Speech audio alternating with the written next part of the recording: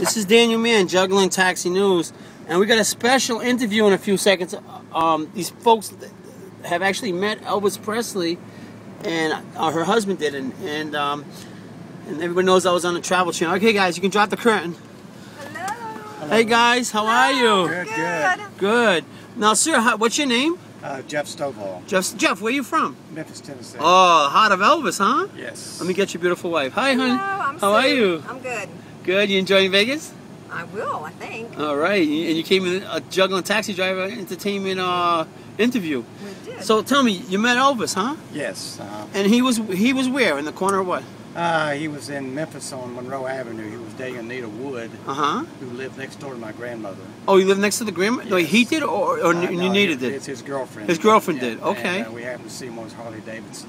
Oh, okay. around 1956. Now, let me ask you something. You said you were with somebody. Who were you with when I you was saw with him? my father. You with your dad? Okay, and you guys what? You walked over to him? I walked over to him Uh-huh. and shook his hand. We talked to him for a few minutes. a few minutes. I mean, And how did he feel? Uh, How did he feel? Yeah. Oh, yeah, he was real friendly. Was he comfy? Was he cool? Oh, yeah. Yeah? He was, yes. And what do you guys talk about?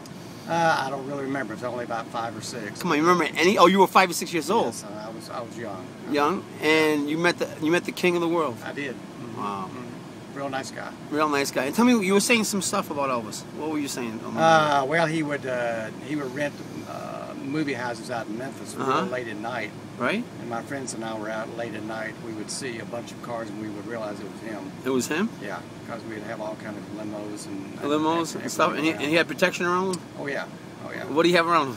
Well, he had the Memphis Mafia. Memphis Mafia around him? people who uh, traveled with him. So. Travel with him, yeah, Yeah. yeah.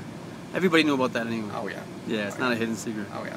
But you know what? He's amazing, you know. And He it's is. like everybody loves him in Vegas, He's a you know. great performer. Yeah, and everything's Elvis around here, you Oh, know. absolutely. Yeah. Including the taxi driver, because I, I do I do juggling Elvis videos. Oh yeah. Yeah. Yeah. And well, say hi to everybody in the world. Well, Hello, hello, everybody. hello, everybody.